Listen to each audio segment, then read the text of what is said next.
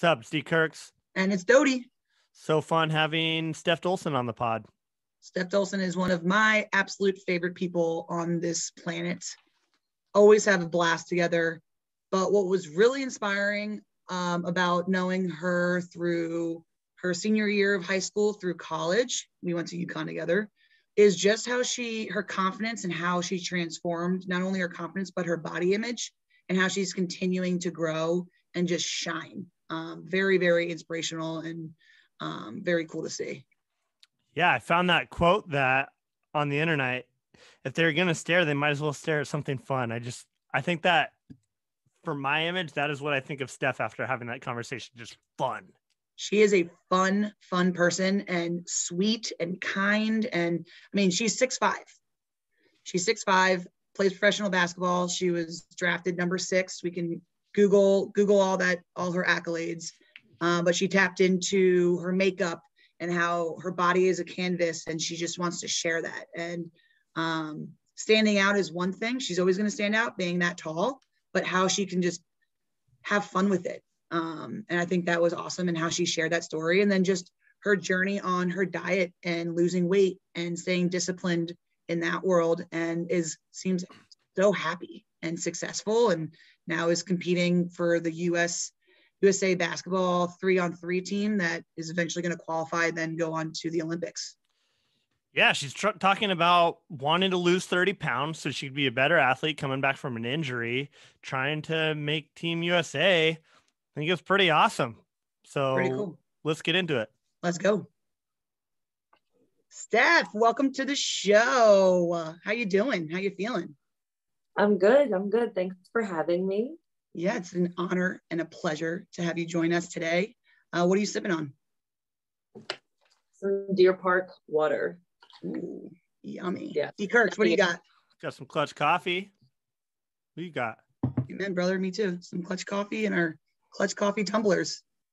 I was gonna say, do you guys have the same? Shout out, yeah, of course. We got a little coffee, coffee sponsor. Amazing.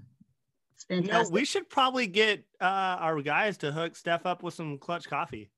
I think so too. I Add that make that list. happen. We can make that happen. Can definitely make that happen. Um, Stef, just for the listeners who um, live under a rock, um, how do we know each other? we went to UConn together. Um, we lived together, not in the same room, but the hmm. same apartment.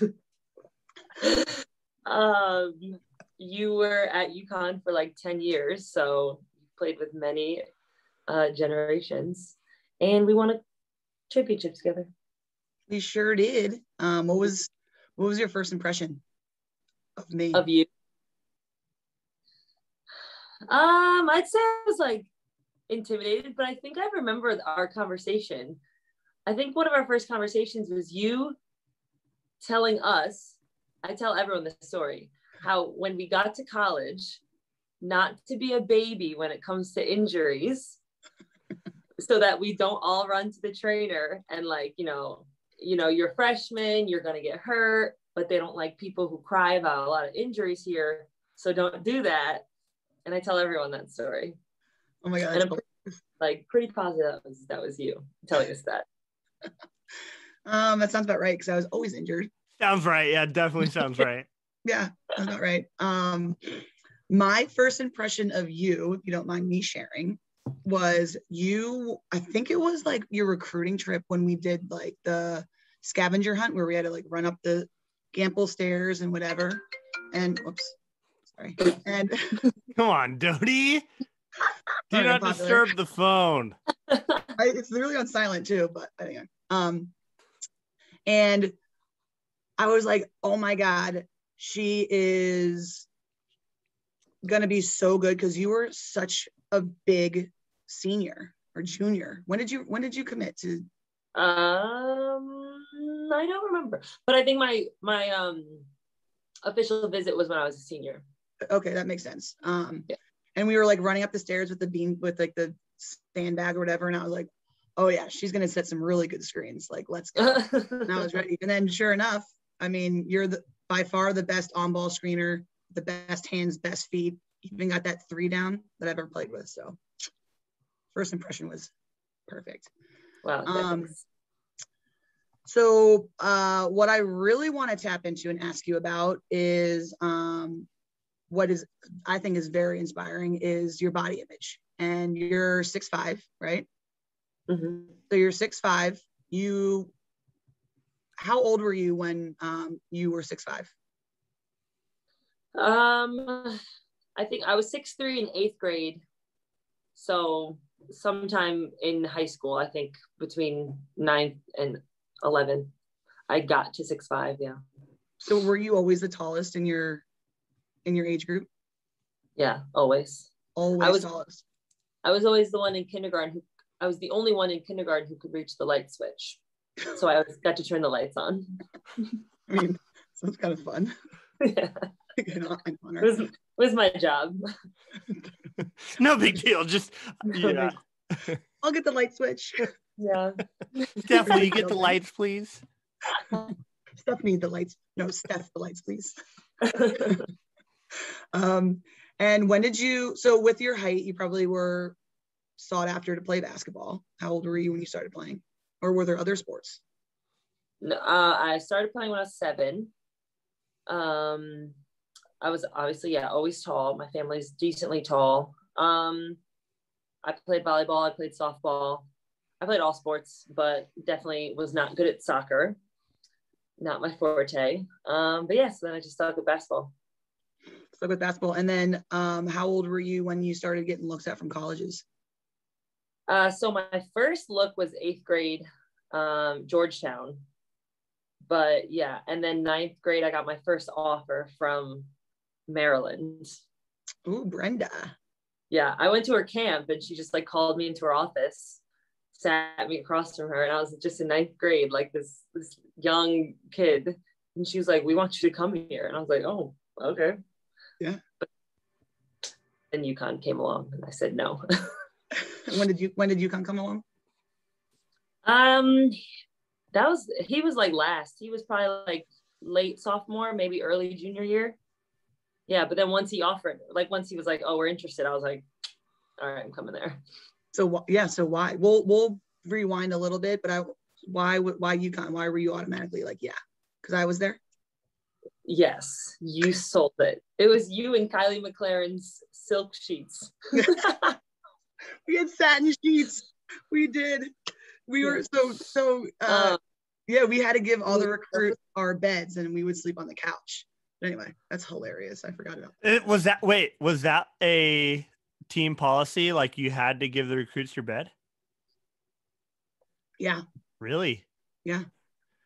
Interesting. Not that I was D1, but like when Kaili- I hosted recruits, they slept on our floor in my dorm room. No, they were up in the no, they Oh. were up in our apartments, and they yeah, we we gave up our room. We're committed to our. We're committed to them. they were. That's why I went. That's why because those. Although she had silk sheets and silk pillowcases, and I said, "What is the point of this?" they just slipped right off. So stupid, but I still committed. So obviously it worked out. so noted. Have silk sheets if you want the best players in the country. Yes. Yes. Cool. Noted. Yeah. Um, well, that's awesome. Okay, so let's rewind here. So you started playing basketball at an early age. Did you always? So you're a very confident person. You are very into makeup, into hair. You did an internship with a a makeup company, right? Um, you're very, very, very confident. Have you always had that confidence? Um, no, but um, I think you know that, but I will tell everyone else why. Like listeners. Not why, but obviously being six five, um, I was always, you know, I always kind of stood out, was a little uncomfortable with my height um, at first, but then obviously basketball kind of grew that confidence for me because I was good at something.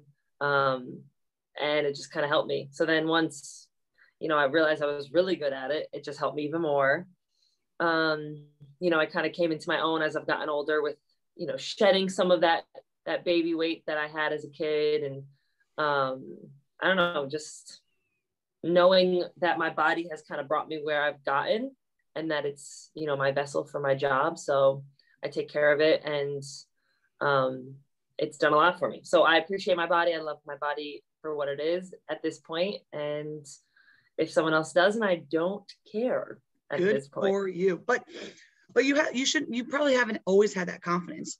So when would you say it like switched? Like, yeah, basketball is a great a great way to be good at something and kind of build that confidence. But what when was that time of like you being like, yeah, like I'm gonna make my Twitter and Instagram handle Big Mama Stef and I'm gonna own it. And if you don't like it, I don't care. Like when was that time? Uh, definitely college. I'd say probably, um, I mean, probably like sophomore into junior year of college. I think I just remember there being like kind of that light switch. Um, that's when the big mama thing came up. Kevin, he was the one who thought of it. Wait, I didn't know that. You didn't know Kevin that? Kevin DeMille created Big Mama Stef. Shout out God. Kevin.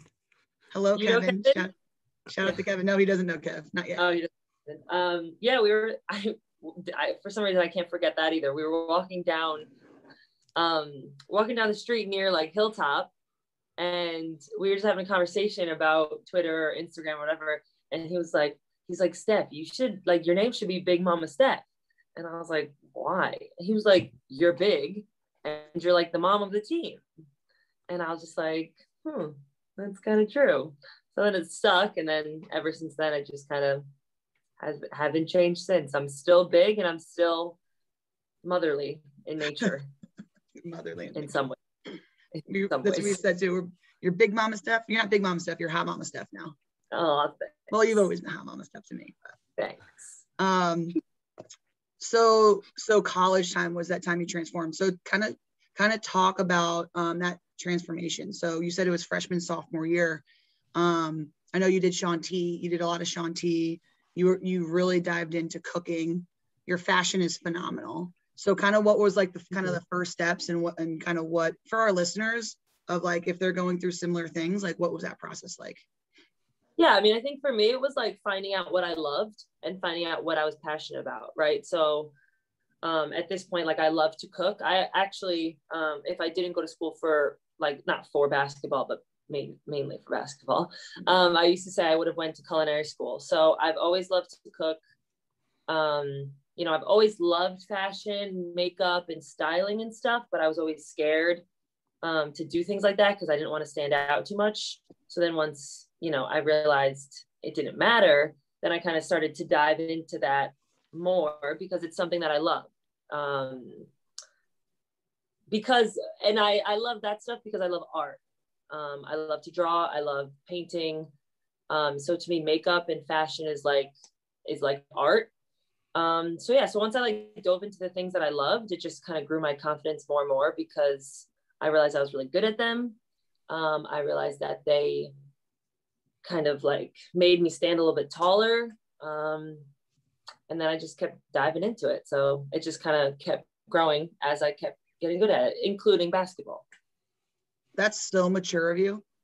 Like, no, I'm being serious. It is Like, for sure. Like to realize that like where do you where do you think you get that mindset from to think like oh i, want to figure out like what what i like what makes me happy like i mean that's hard to do where do you get that support from I have no idea. I mean, I, I guess, I mean, I know my family obviously always supports everything I've done and they always have helped to grow, um, you know, I guess the confidence that I lacked as a kid. But I mean, I did go to therapy. I always am a strong believer of having a therapist. Um, 100% i'm with you uh, yeah, like someone just to talk to. Um, in college, though, I mean, I don't know if it was the same for you, but like Gino for me was a big part of that. Um, because that was like the initial confidence grower was the basketball, right? So for me, it was finding myself on a team like that with Gino and CD, like kind of helping me grow that confidence and teaching me things that outside of basketball that just helped you know um, find out the other parts of me that that i loved and that i cared about. Shout out to gino and cd i mean yeah I'm, I'm with you too. I mean i was in the same same boat just with like my injuries and stuff too. Like you're just kind of a lost lost puppy there but you have that stability of basketball so yeah along with the coaching staff and then um, rosemary ragle just because right it was, it was a huge yeah huge part of that for me. Um, Yeah. That's awesome. Um, so you said okay, freshman, sophomore year in college. Um, have you won a na- did you win a national championship? When was when was your first championship? Uh, I was a junior. I won junior junior, year. junior, senior year. So you're starting getting you're starting to get that confidence. You're big mama Stef now. You're having extra strut. In practice, we'll do that two man game and score every time with your great feet and that shot. And then you win a national championship. Your junior year, did you find your confidence get like even bigger? Did you find yourself being more um, artistic with your outfits and your like like where were you at with your body image after you won a national championship? Um, I mean, I guess I don't think I grew like too too much in the last two years of college because I think we were solely focused on just winning, you know, and basketball. I think like my jump from uh sophomore to junior year was like that big jump where I like I lost a bunch of weight. Um, you know, I was kind of focusing on like we need to win a championship. So then junior senior year, we're really just solely focused on winning a championship and winning games. Um, I think the bigger jumps that happened were were right after I graduated uh, from UConn. You know, I I ended up I when I was at UConn, I actually had a moment where I talked to CD and I asked her if I could shave like part of my head, and she was like, "Absolutely not! Like you won't be on this team." So I said, "Okay, my bad. Won't happen again." so once I graduated, I um, I got a bunch of tattoos. I, I bleached my hair and dyed it purple. Um, and I just like started expressing myself in other ways. And I just came to find like more of who I am outside of college and outside of basketball. Um, because obviously, like, you know, like that's what UConn was about. Um, so yeah, so I think really the bigger jump was after I graduated. Um, being around all these WNBA players and like them just being who they are. And I was like, all right, it's time to find out who I am now. Like, Let's so- go. Yeah. So, okay. So you win championship junior year, you win national championship senior year. People can Google it, Yahoo it, right? Uh-huh. D. Kirks. Yahoo, it. yeah. Um, that's on the internet. But what people and they can know that you were drafted sixth, sixth overall the- in the first round to DC. So now Yeah. you're in a yeah, so now you're in a new city. Your focus is still on basketball, but you've already you've accomplished your stuff in college and now you're able to express yourself. And you just explained dyeing your hair, getting tattoos. Um, did you shave the side of your head? I did not. Oh, you didn't do that. Why not? I did not shave it. Yeah, No, why not? Thankfully, I'm actually. I don't regret. You know, it was one of those trends that came and went real quick. Um, maybe not. It wasn't quite. I think it's who I thought I wanted to be, but it was like a little too extreme. So instead, I just went a full head of purple hair. It's amazing. Um, Thanks. so yeah, so you stood out. Yeah. I, I did everywhere. It was a lot. on this I, I saw a quote somewhere it might be on your wikipedia page but it said uh if they're gonna stare they might as well stare at something fun i thought that was a fantastic quote Yeah. But that yeah, I think that's awesome too. yeah I when Daniel told me, I didn't know you said that, and I was like, "That's awesome." yeah i feel like i say that in every interview that i ever have like just every every time there was just like oh like how did you get this confidence and blah blah blah, blah and like what's something you live by but that's like honestly how i think of my life at this point i i don't even think about people who stare at me anymore like i'll be with normal like not normal jesus with like, not normal people, but like my family, my friends, like people who are at normal statures. And they're all like, Stef, everyone's staring at you. And I'm like, I don't even care anymore. Like, I just look straight and I don't even think about the people who are staring at me. Are people recognizing you from the WNBA or are they just looking at you because you're taller female than everybody? I think just a taller female than everyone. Like yesterday in the airport, these women, I was right behind them and they're just like, Holy cow. so- yo, she's so damn tall. And I'm like, hi, thank you. Hi, my name's Stef. I'm right here, right behind you. I can literally hear you. Thank you. Thank you. Do you have any other like comebacks? Like, you know, people like, oh my God, you're so tall. You'd be like, well, yeah, you're so short. Or do you just No. kind of like, oh, thanks. I'm actually a jockey. I ride horses. Right. I everyone has like different things, but I just like say thank you. Good for I you. know- Yeah, I don't know what else to say. Or people, I feel bad, not feel bad, but you know, there's always the people who are like, I'm sure you get this all the time, but do you play basketball? And I'm always, and I'm always just like, I mean, I do get it all the time, but I actually do play basketball, so you're fine. So I always make them feel like okay about asking it. You're so kind. Thanks. That's so kind. got to be difficult. I mean, I'm not recognized anywhere, but it would be difficult for me to go places, even in your home hometown of uh, your Chicago right now, right?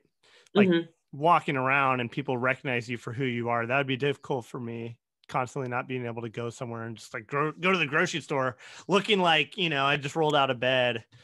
Yeah, what's that Or like? like, or like going out to dinner or going like Yeah. going to have a drink. Oh my God. Mhm. How is she able to have a drink? It's like, Yeah. 'cause I'm human. But anyway, yeah. What is that like, Stef? Well, I don't think I think people like um well one it I've I appreciate it. I think I always appreciate the love and the support of people that if they do recognize me because I think what a lot of um people don't realize is like because we're in the WNBA, we're not obviously as recognized as the NBA or any other athletes. Um so it's nice, but it's not usually overwhelming. I mean, sometimes it can be. It's like a little like you know, it, it used to be the worst at UConn. It's not that bad in Chicago or DC because you know there's so many people in the city of Chicago. Um, I'm usually just seen as like this tall girl, but like at UConn, it used to be the hardest. I'd be like, can I just, you know, I just want to sit here with my family and eat dinner after a big game. You know, Caroline knows, but it's like all the fans ate at the same restaurant, so they're all wanting to talk to you after a game. It's just like I just want to sit with my family. I was actually just talking about that with my mom. And my mom was Mhm. like, Do you remember at UConn we couldn't even like just go get food without getting interrupted? Like we, I couldn't even have a conversation with my daughter. Yeah, But that I mean, Storrs, Connecticut, it's the basketball capital of the world. right. So I don't miss that. Yeah, I don't miss that.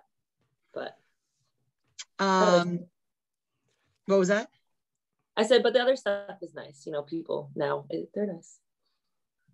They're nice. Um, talk a little bit about your your diet. Um, are you really strict? Do you have a certain diet that you do? Is it the same that you did in college to what you're doing now? Um, talk a little bit about that.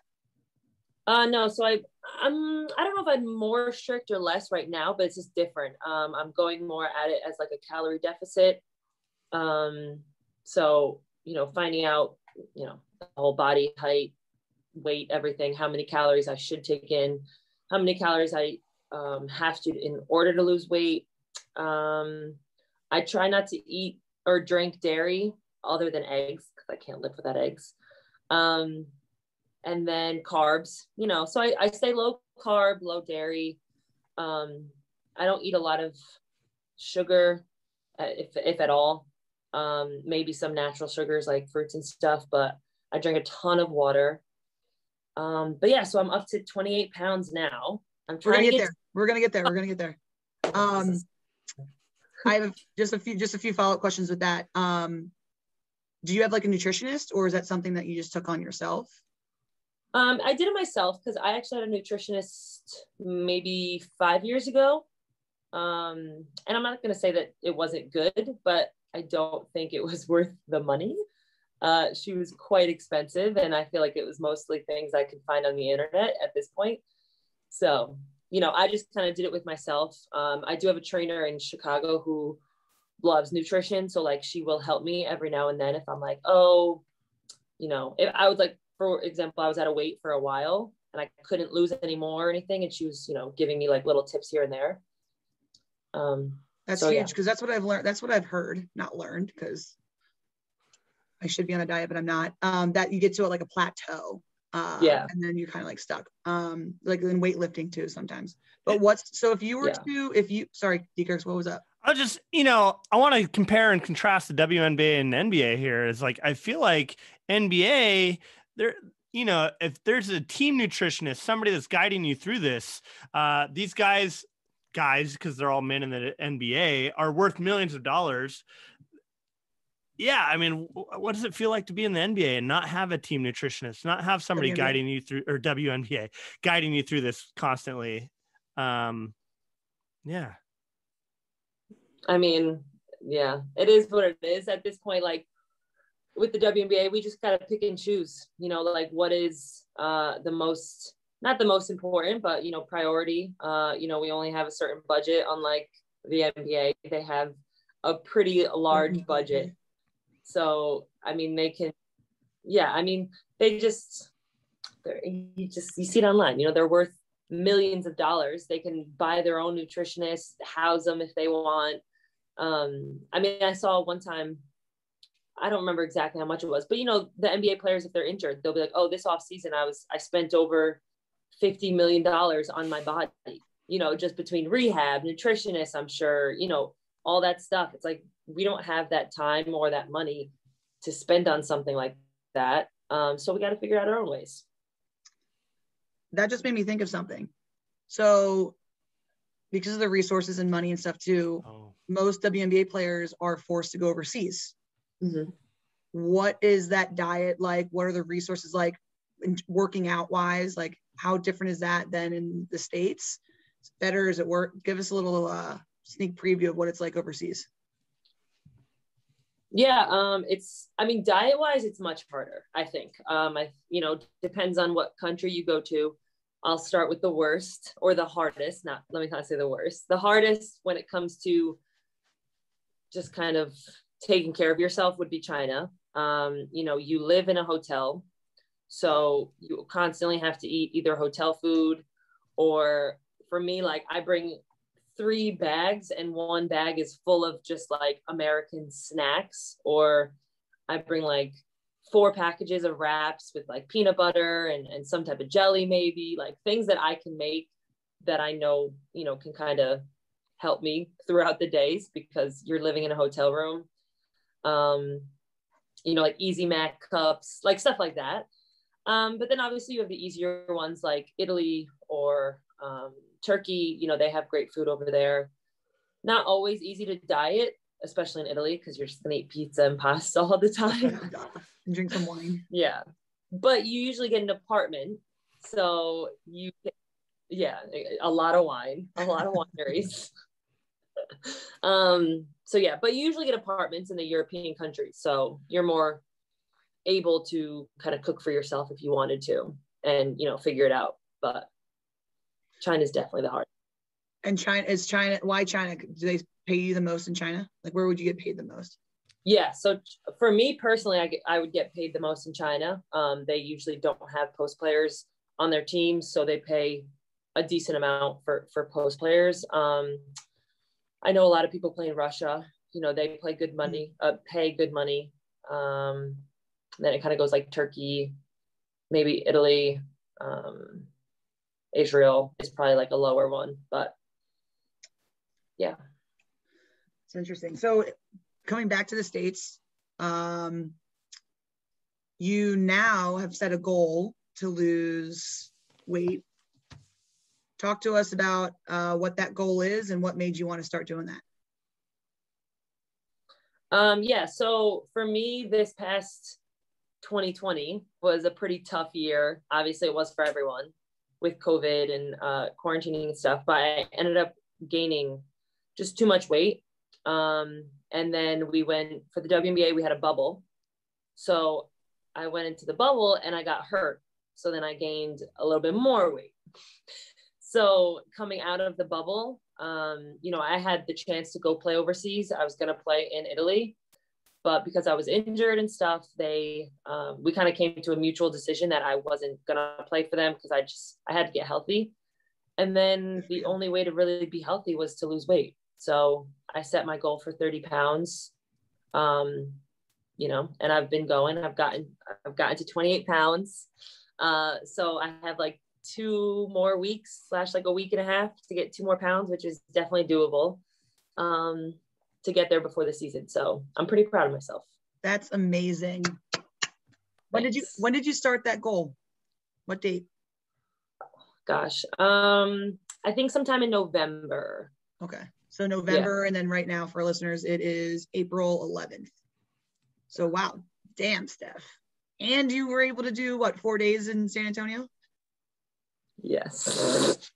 I mean, I've had my ups and downs. I had I had a break, a break at Christmas, and then a break for my birthday in January. And then, you know, there's been the occasional trips that I haven't done great, but I've been able to. You got to have fun though.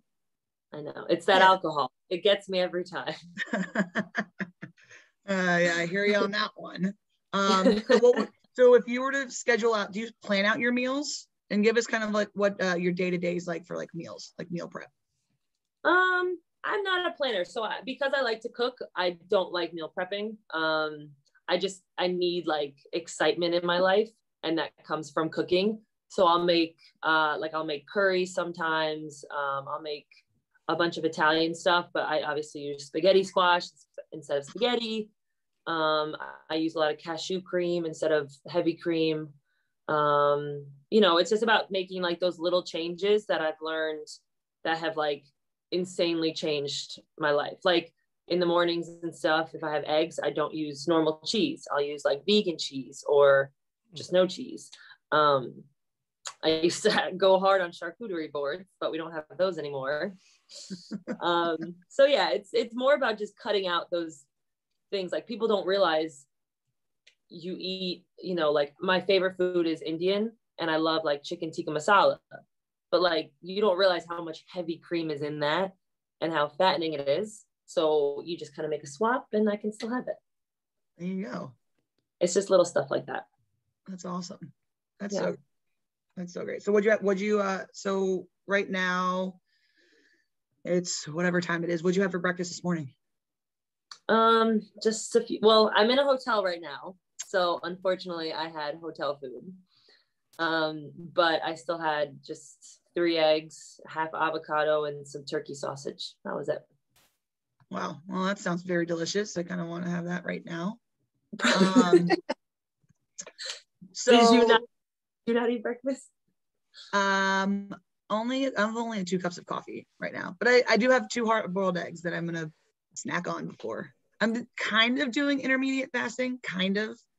Not really a fan of it, but there's a lot going on right there's a lot going on right now so i like forget to eat sometimes and i'm like so angry i get hangry. I'm like oh, yeah. oh yeah i haven't eaten today. But yep. anyway.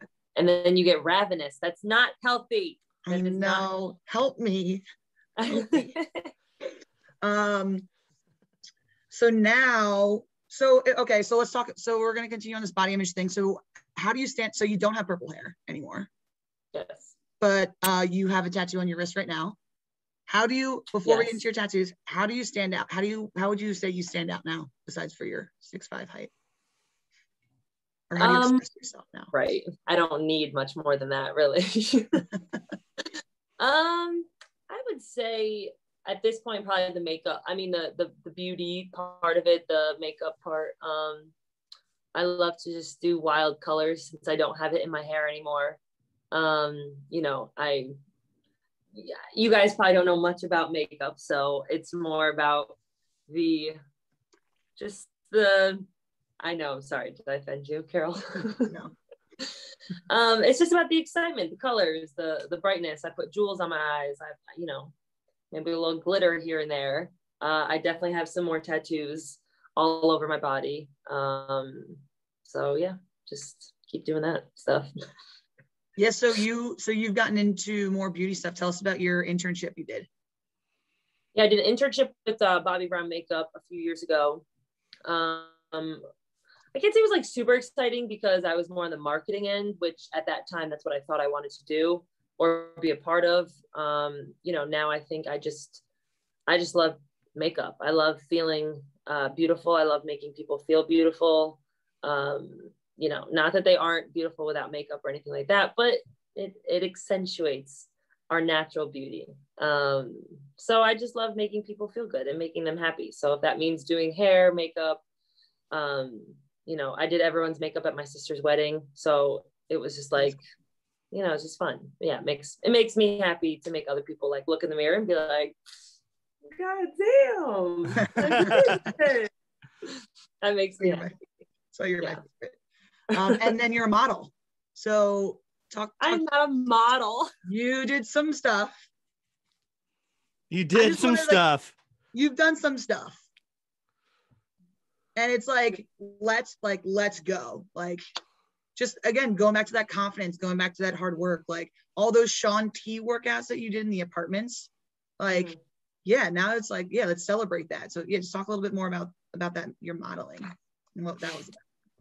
I think for me, the modeling. So I've also always been, okay, hmm, how do I explain this? I've always wanted to model, even as a kid. I grew up watching America's Next Top Model, not because of the attention, not because of the popularity that people find in modeling now, like with Instagram and stuff.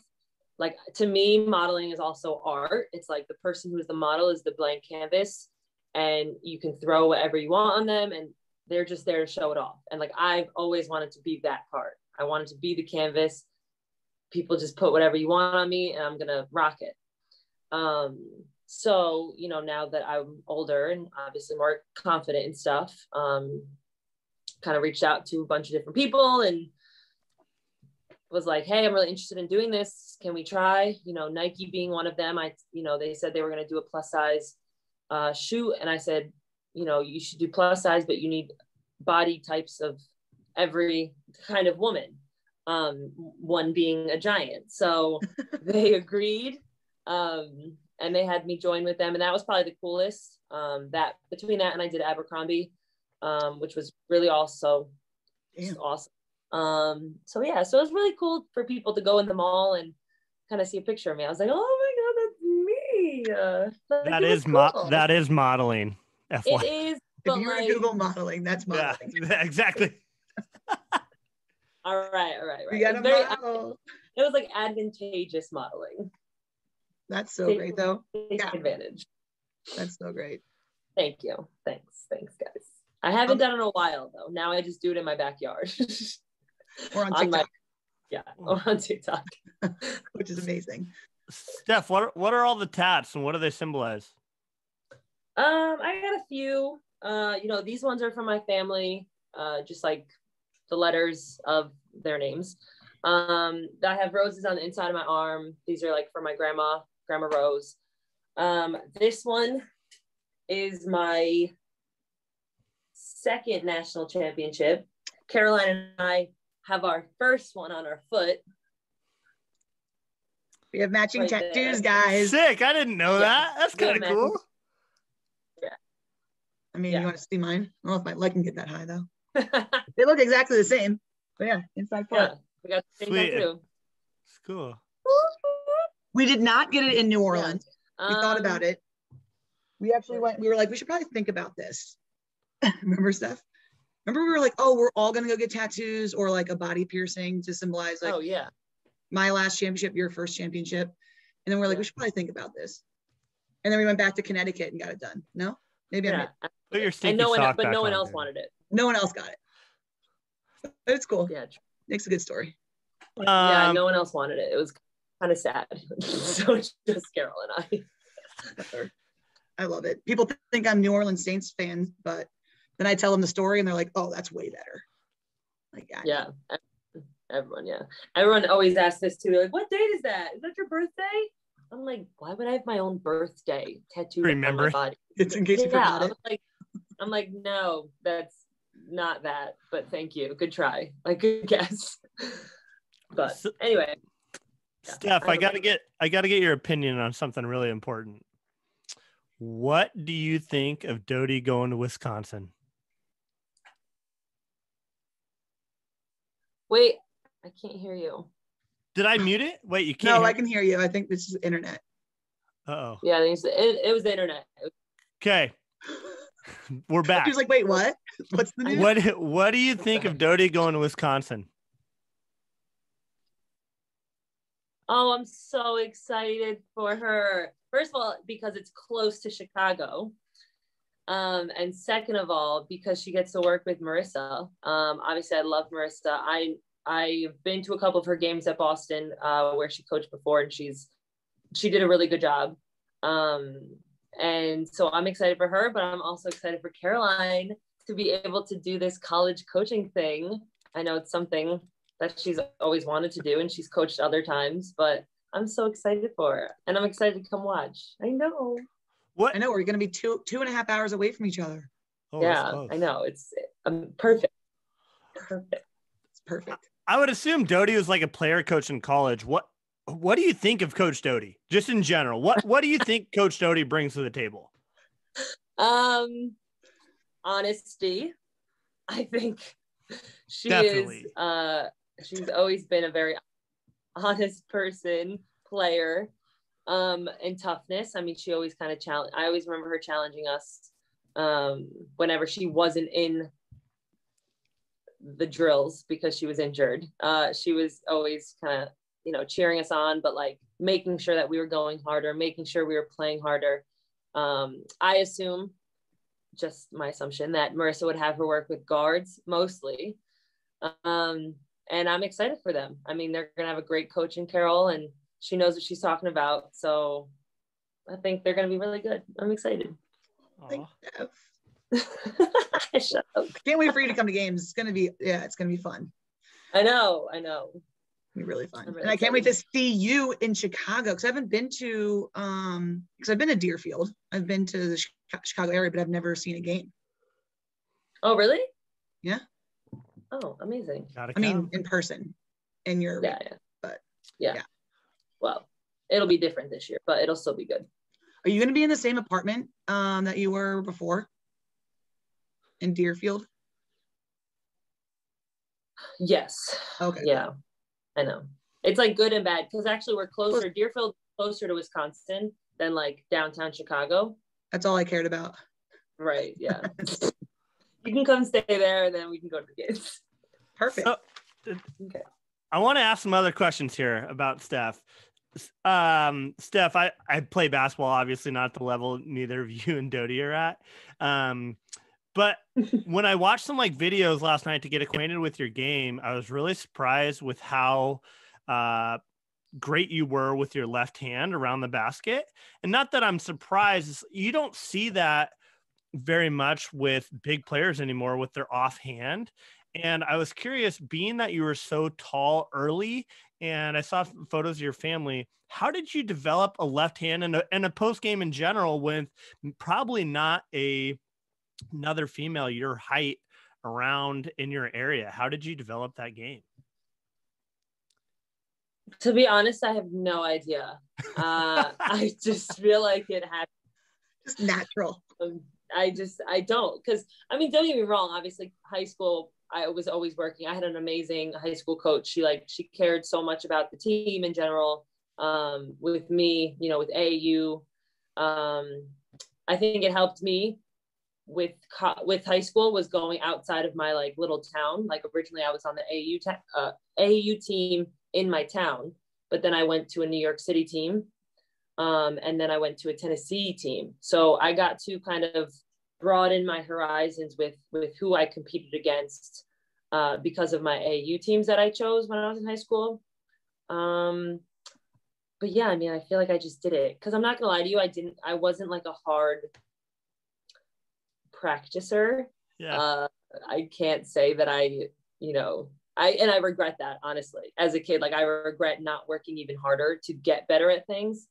Um, because I kind of coasted until I got to college. But then, you know, once I was in college, it was like Carolina was like CD and Gino, they didn't let you do a turnaround jump shot in the post. Like I had to have a right and a left hook shot. Um, and they kind of just nail that into you. So yeah. Actually, to follow up on that question, um, we would play Brittney Griner at Baylor mm-hmm. and stuff. I don't know if it was with you or if it was if it was with Tina Charles, but they would come out with a like a broomstick.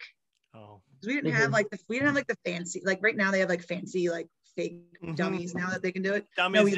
No, yeah, d- these dummies. there was literally a broomstick, and the I remember I don't know if it was CD or she probably yeah. made a practice player do it with the broomstick trying to block the shot while the post players would be doing their their work, their post moves, and it was just like so. Then when you went up against Brittney Griner, you knew that you needed a higher arc or you need you knew you needed to use your body more to separate.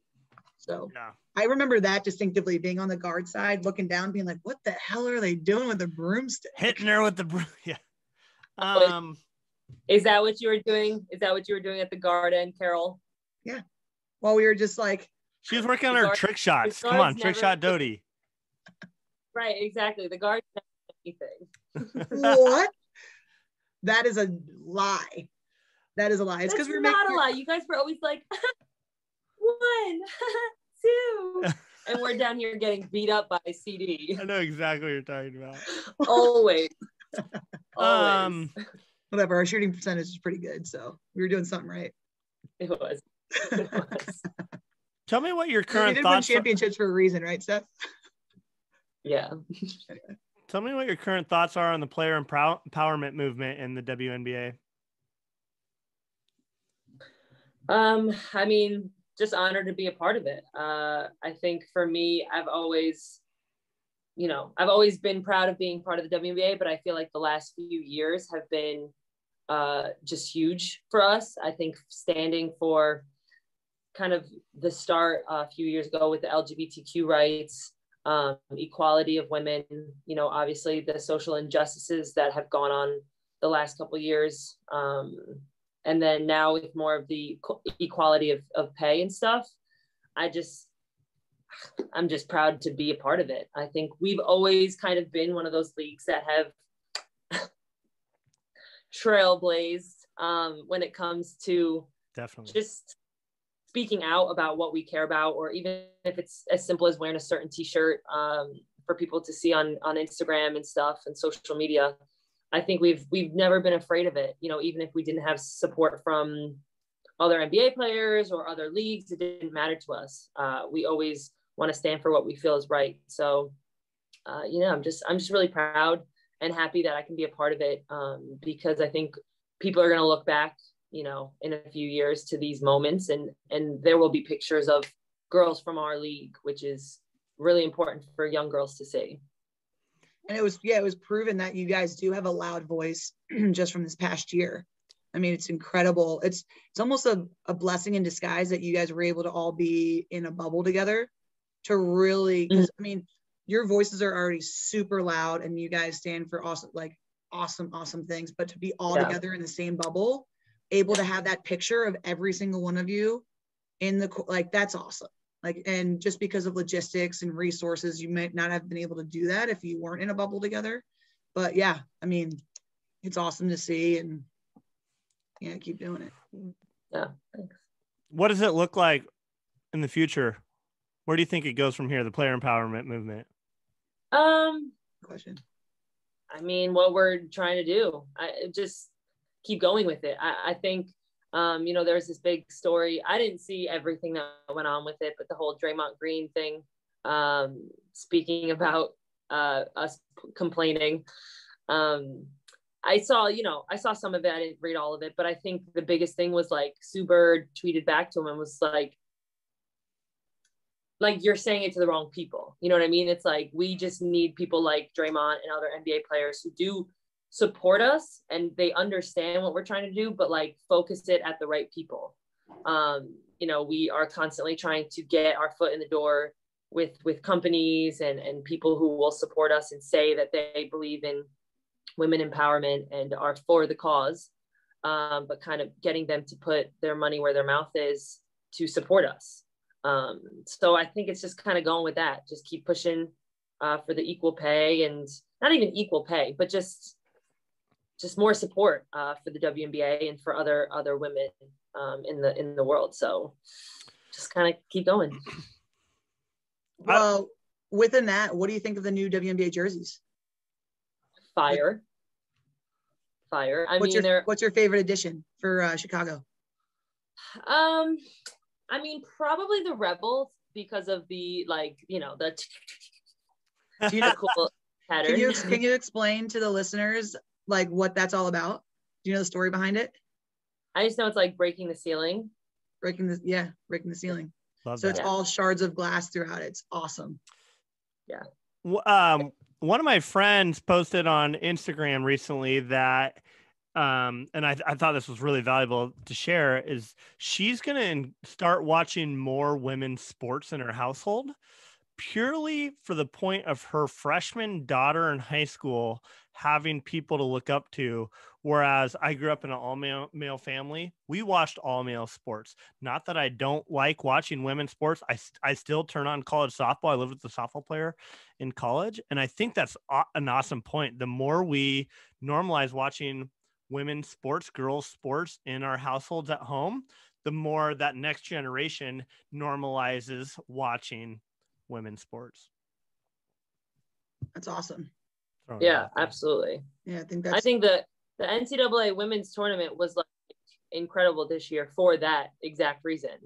I think, although I'm not, you know, I've never been a huge fan of social media in general because it ends up kind of uh, focusing on the wrong things sometimes when it comes to like girls and sports and and these unnatural um, expectations that they should have for themselves. But I do appreciate it because it's brought a lot of attention to uh, younger girls in sports and women in sports, um, including WNBA and the the women in the NCAA tournament. So I think this last year has been kind of huge for women's sports and, and getting a lot of younger viewership is really important. I think that's huge too. And then with um, Sarah, the kicker for Vanderbilt, that was huge too.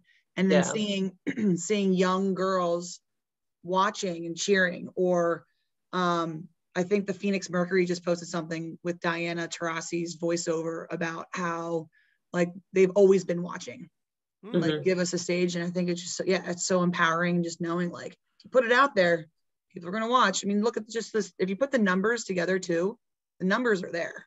Yeah, you got to put it out there. But yeah. if you build it, they will come. Yes. Field of Dreams. Well, to the same point, like Augusta Women's uh, Amateur, right? They've been haven't had women's a tournament ever at Augusta National. Obviously, the Masters is going on right now. In the past three years, they're hosting a women's amateur tournament, and I, I tuned in to watch that, and I, I think it's fantastic that a place that's been so specific and maybe um, exclusive is now opening up to you know broader opportunities. Yeah yeah that's awesome. You guys ready to do some competitive banter here? No could have to ask her one more question daniel? Oh stef you ever golfed before? What why, why is golf the greatest game on earth? Um i have golfed. I'm not great at it um but i enjoy it.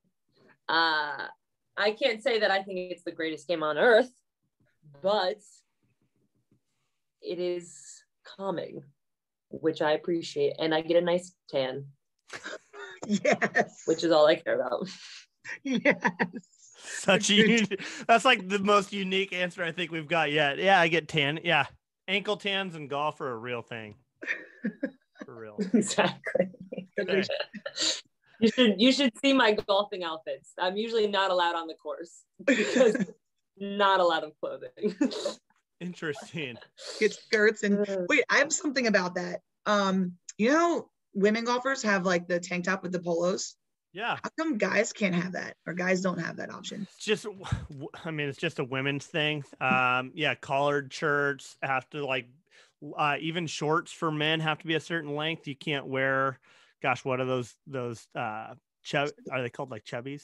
You know the oh chubbies the super short shorts can't wear those golf they have to be a certain length like knee knee length chubbies. normally it's one of those things that you know i think this is probably the barrier to entry in the game to be brutally honest. And i think you go play a lot of muni golf you see a lot of guys wearing basketball shorts and tank tops and the hat backwards. It's just definitely a different avenue to grow the game.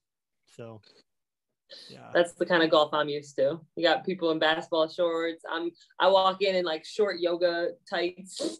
Tights. Not appropriate. Couple cocktails in hand. All right. So Stef will not be playing at Oswego Lake. Ah, she could make it work. Um, let's do some banter here. I want to hear. I want, I want to hear some answers. These are going to be pretty good. So, Stef, how this works is we're going to do best karaoke songs whatever you want to make that, how you sing it, other people singing it, whatever. You're first, Doty second. I'm going to go third, fourth. then we snake back. Make sense? Okay. So yeah, so you go, you pick one song. Well, we can talk about it and banter. Then I'll pick the second song. We can talk and banter about it. Danielle goes third and fourth. I go fifth. You go sixth and seventh. I go eighth. Danielle goes ninth. So it's like It's We'll like talk- old we'll- school, like playground rules. we'll talk. We'll talk you through it. I don't understand. Am I singing or am I just saying it? You're just saying it, and then we're gonna eat you alive for whatever you I pick. mean, you can sing it if you want. we are Okay. singing our karaoke song, It's art form. Come on. however you want. I'm so confused. All right. Just say, go. just say the name of it. Yeah. Yeah. What do you got? Oh, right now. Go. Yeah, your first pick. First pick Res- in the best karaoke songs competitive banter draft is respect. Aretha Franklin. oh Ooh. I did not have Easy. oh Um, I'm just thinking about it, and I think that would be awesome. I would definitely lose my voice singing that one. I don't have anything to banter about because I know it. I mean, that's just not something I yeah. Respect. Yeah. That's awesome. That was pretty good. We didn't sing that. We didn't sing that last weekend. I know. I got another one from last weekend. That's my other. My other Okay, one. cool. All right, so my turn. I'm gonna go with Piano Man by Billy Joel. Piano man. We we sang that last weekend. Are these like Nice. All the songs like- that you guys used to sing together?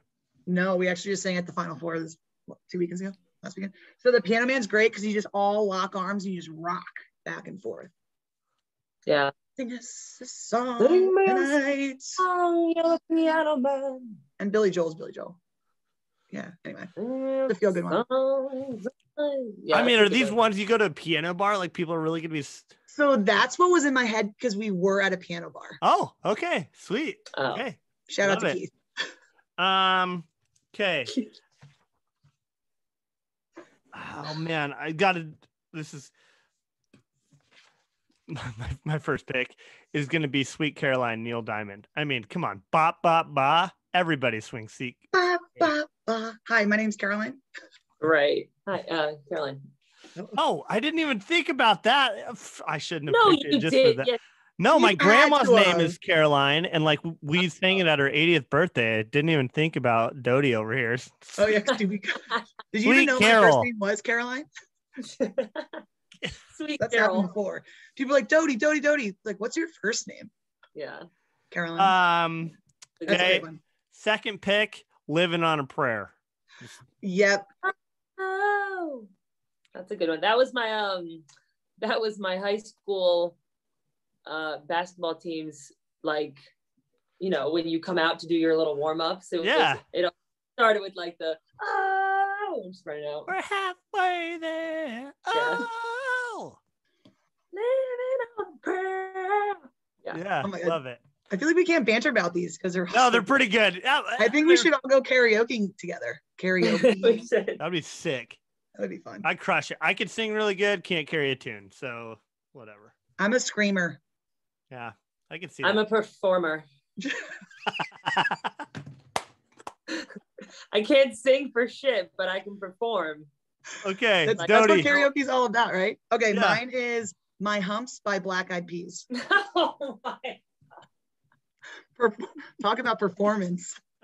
Why? What you gonna do with all that junk? All that junk inside that trunk. I'm get get get get you drunk, get you love junk up my hump.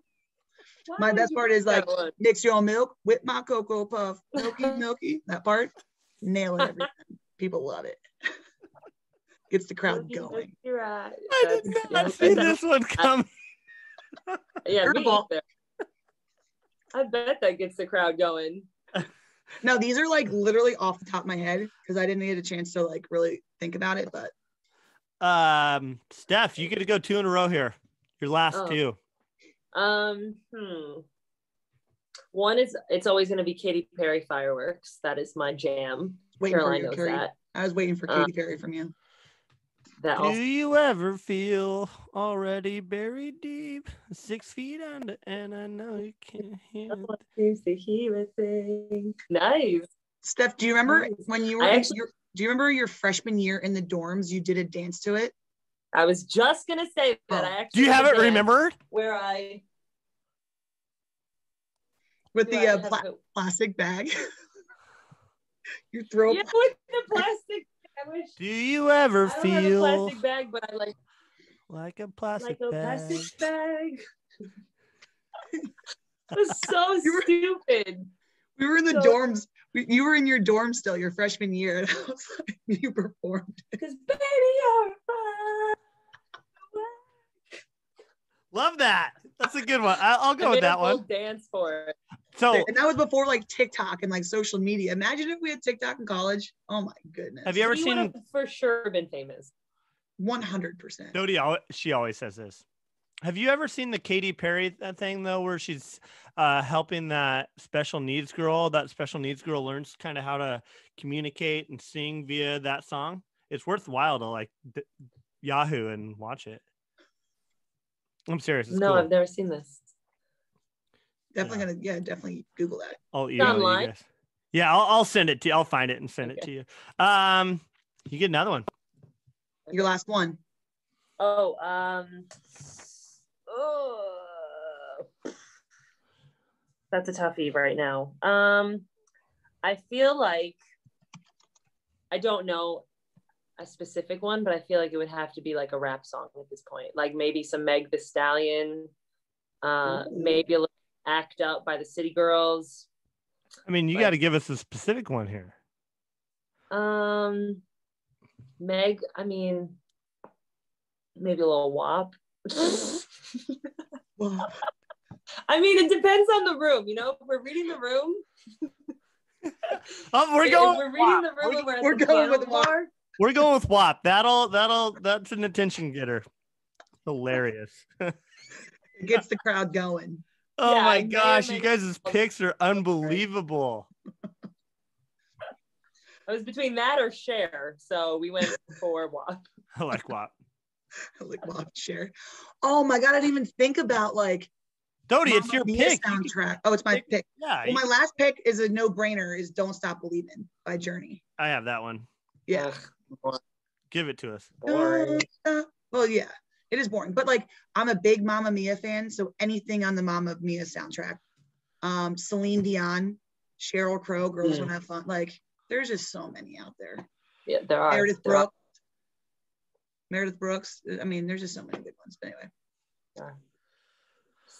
Anything. Um, I don't know. I'm gonna round this out. I, I'm gonna give Yeah, you an. know, I'm gonna give you a honorable mention, but that's not gonna be my pick. Honorable mention, I think, is gonna be "Shallow" by Gaga and Bradley Cooper because I think that'd be a great one as like a duet, but it's not quite there yet. Mm. Um, Who? "Shallow," the From, Lady um, Gaga, Bradley Cooper, like from the movie song. So the, from um, the movie. Yeah, what's the movie? Um, no I've idea. actually never seen the movie. you A, haven't? the, a stars, a star, Star is Star is Born. Born. Yeah, I have not seen it. You should. I know. Okay, so I that's have- my I know, but mention. everyone says it's sad. It It is is very sad. sad. okay. Yeah, I don't want to watch the movie. But that's a good. That's that's a good honorable mention. I'm gonna go a current event here, and this this might not be a really good karaoke song. You'd have to read the room. I mean, if it was at somebody's house, I'm gonna go Ruff Ryders Anthem by DMX. Just because I think it'd be awesome. Aw, Shout out. Good choice. Yeah. shout out. Shout out. You got to sing a little bit though, Wait, D. sing a little for it. Or I gotta remember which one that is. Stop, only know he's like. What Drop. up, what up? shut him down, open up shop. Oh no, it's how the Ruff Ryders roll. Yeah. Yeah, yeah, yeah. Yeah. Oh yeah, yeah, yeah. Ah, That's a good one. That'd actually be a good one for my for my voice. Sorry. Let's, let's hear it. Jody. Any DMX song, Carol. I Um, just got my voice back, Stef, by the way. I did not have it all week. You just what? I said I just got my voice back. I didn't have it all week. Oh, from last weekend. Piano bars. Stef, thanks for coming on the pod. Thanks for telling the story. Like, I love the energy that we got going on here. Yeah. Truly the best. Thanks. My absolute for having- favorite. Thank you. Thank you. Thank you. a pleasure. A A pleasure. pleasure. Yeah, good luck with uh we didn't even tap into USAB three on three. So good luck with three on three and qualify so we can cheer you on in the Olympics. Got you. I know. We got to get it done Go, Go. Badgers. for sure. Right. So, Go Well, Badgers. Get out of here. cheers. Cheers. Yeah.